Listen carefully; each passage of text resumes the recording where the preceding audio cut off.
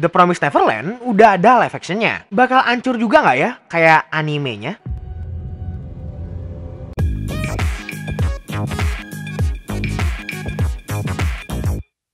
Hai no gamers, para wibu denial jumpa lagi bersama gua Asura dan kalian sedang nonton Wibu Lokal. Nah, kali ini gua bakal ngebahas live action lagi nih. Live action dari manga dan anime yang cukup gua suka awalnya. Kenapa awalnya? Kalian bisa nonton video review anime season 2-nya di sini yang ngejelasin betapa kecewanya gua sama season 2-nya. Oke? Ya nggak lain nggak bukan adalah The Promised Neverland live action. Akan sehancur season 2-nya atau wah season 1 Tapi sebelum masuk ke pembahasan, gue ingetin lagi seperti biasa, bahasan gue mengandung spoiler. Jadi spoiler lah.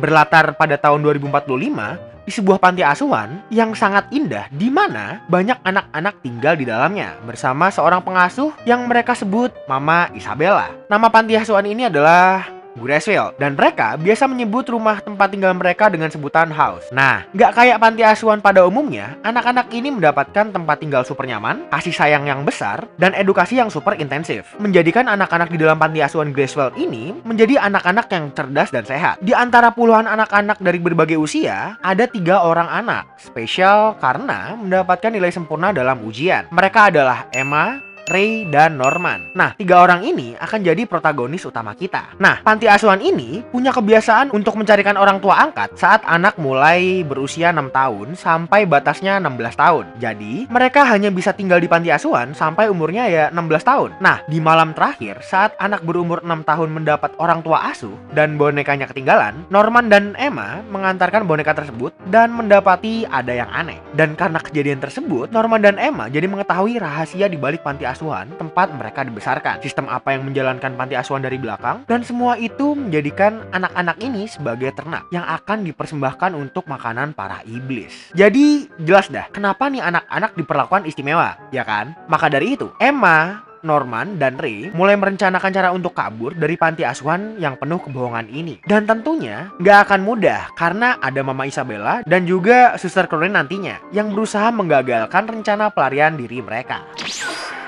Emma diperanin oleh Minami Hamabe, Norman diperanin oleh Rihito Itagaki, dan Rei diperanin oleh Kairi Jo. Untuk karakter mereka sama aja kok kayak yang di manga atau animenya. Dan mereka bertiga juga udah sering main di dorama-dorama. Khusus untuk Minami Hamabe, gue cukup sering nemuin dia juga. Di dorama yang gue tonton kayak Kaki Gurui sama Let Me Eat Your Pancreas atau Kimi Suizo wo Tabetai. Gak ada masalah sama acting mereka bertiga sebenarnya. Yang kurang malah di kekonsistenannya. Maksud gue gini, setahu gue tiga orang ini tuh seumuran. Nah, Emma sama sama Norman ini diperanin sama orang dewasa. Sementara Ray masih anak-anak. Jadi akan ada gap di wajah mereka. Terus untuk detail, Norman malah jadi agak kemayu gesturnya. Padahal di anime sama mangganya, dia itu sosok leader. Lah kok malah jadi menyi-menyi. Untuk Krone, yang diperanin Naomi Watanabe, juga gua nggak ada masalah kenapa warna kulitnya beda dari yang ada di anime sama mangganya. Tapi, kalau di manga sama anime, sosok Krone ini nyeremin, sumpah. Tapi di live action ini malah terkesan jadi sosok komedi. Yang paling cocok dan perfect banget justru ke Mama Isabellanya, yang diperanin sama Keiko Kitagawa. Seorang aktris yang jam terbangnya tinggi, sama kayak Minami Hamabe tuh. Nah, di sini, beliau gokil banget sih, meranin Mama Isabella Isabellanya. Gua dapat feel serem di mukanya, mencekam dan mengintimidasi di setiap perkataan dan kelakuannya. Kurang miripnya paling di tinggi badannya, karena yang di anime atau manga kelihatan tinggi banget tuh mama. Tapi ya nggak segitu ngaruhnya sih.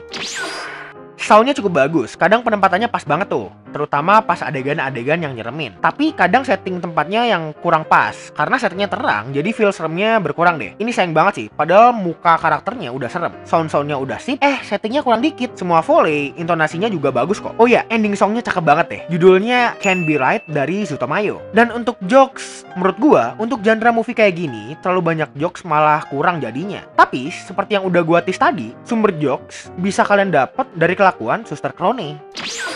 Untuk kekurangan bisa gue bilang ya keakuratannya sih. Untuk storynya sip banget. Tapi untuk detailnya banyak yang berubah. Jadi gue yang manga reader dan udah nonton animenya juga jadi ngerasain beda aja. Penempatan sound yang kurang tepat ngebikin feel serem yang didapat kita jadi kurang impactnya. Setting tempatnya padahal udah dibikin mirip banget sama manga dan animenya. Ini gue speechless banget sih. Gila, mereka bisa bikin tempat semirip itu loh. Pemeran-pemerannya sebenarnya udah cukup oke okay actingnya. Tapi kemiripan dengan karakter aslinya sedikit berkurang. Karena mereka nggak bikin rata nih umur. Wajah trio kita, Emma, Norman, kelihatan tua. Yang bocah cuma Ray doang. Gildanya lucu sih tapi.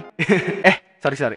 Kesimpulannya, live action ini cukup oke lah ya. Kisah tentang utopia yang ternyata hanya semu belaka. Dan untuk skor, gue masih bisa lah kasih 7 per 10 karena gue masih dapat keseruan dari live action ini. Tapi overall ya super B aja. Ya udah sih gitu aja. Makasih udah menonton video review The Promised Neverland live action. Tonton video wibu lokal lainnya juga. Jangan lupa like kalau lu suka, subscribe Clean Sound Studio dan jangan lupa nyalain loncengnya juga biar kalian bisa cepet tahu kalau gua atau Yami upload video. Follow Instagram gua admin underscore Asura dan semua yang terlibat dalam video kali ini di sini. Itu aja dari gua. Gua Asura pamit dan untuk kalian semuanya, stay clean and sound.